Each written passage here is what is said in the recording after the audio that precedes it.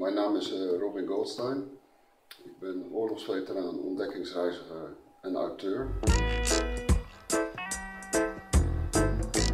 Mijn opvatting is dat eh, de heilige boeken, zoals de Koran, de Torah, de Bijbel, eh, dat zijn overleveringsverhalen van geschiedkundige gebeurtenissen. I'm gonna put on an iron shirt and chase. Ik heb een, een doel in het leven, daarvoor heb ik mijn boeken geschreven. Ehm, dat doel hangt samen met eh,